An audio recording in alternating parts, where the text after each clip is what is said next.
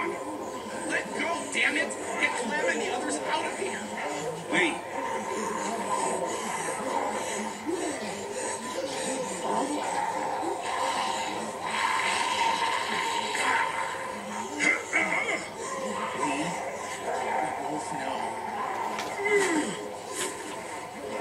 Let me go.